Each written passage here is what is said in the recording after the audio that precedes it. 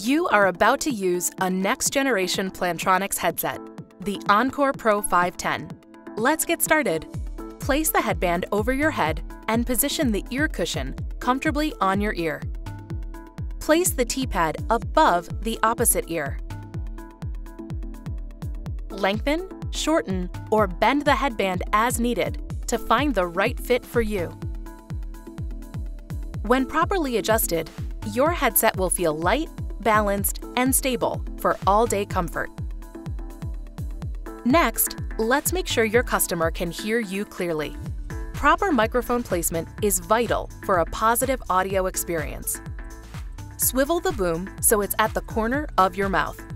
You will hear and feel ratchet clicks as you adjust the boom within the correct range. The visual marks help you find the right angle again later. Bend the boom so the tip is just two finger widths away. If it's too close to your mouth, your customers will hear breathing and popping sounds while you speak.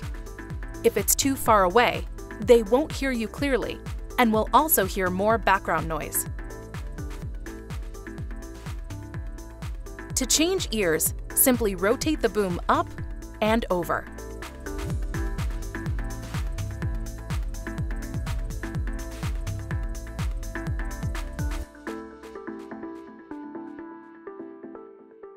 Now, let's take care of the cable.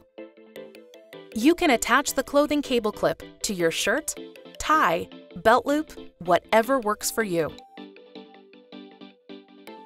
Next, let's connect your headset to your phone or PC. The quick disconnect feature makes it easy. If you need to disconnect, this can be done with one hand, so you can step away without taking your headset off. If you are on a call, the call will not be disconnected. Reconnect to return to the call. Talk with your supervisor if you need to replace parts like clothing clips or cables. For best performance, ear cushions should be replaced every six months.